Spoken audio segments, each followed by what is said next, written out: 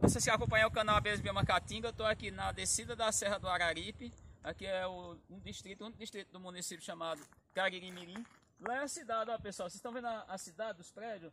Aquela chuva está caindo dentro da cidade. Que vegetação, que paisagem interessante. Só um detalhe, aqui mesmo tem Uruçu do Chão, nessa localidade, ali embaixo, naquela vegetação baixa, se a gente descer essa altitude não vai dar mais do que 290 metros, 200 metros. Ali tem a Mandaçaia da Caatinga, naquela parte de baixo ali onde eu estou apontando. O tempo tá de chuva, está muito bonito. Olha só, coisa interessante. Então já falei isso para vocês, não é a questão do bioma. Aqui é o mesmo bioma, aqui é bioma Caatinga. Só que aqui nós estamos numa área de transição. Isso aqui é uma área de transição.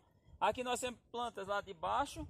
Temos plantas da parte mais alta ali um pouco, não tantas. Então, se você trouxer a aerossol do chão lá para baixo, levar na verdade, ela morre. Se você trouxer a mandacéia que está ali embaixo, daquela vegetação que a gente está olhando ali embaixo, não é tão longe.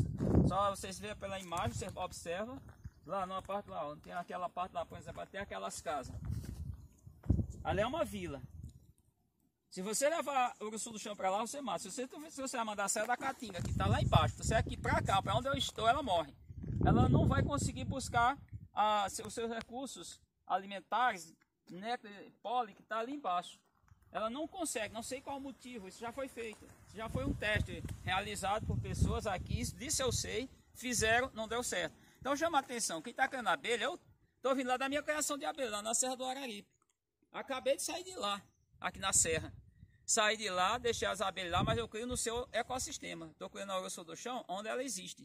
Se eu trouxer para cá, eu mato a abelha. Se eu levar de lá, mas, mas daqui em determinado momento eu queira de criar a mandaçaia aqui em cima. Se eu levar para lá, eu mato a mandaçaia, porque ela não vive lá, beleza? As duas, inclusive, são chamadas mandaçaias.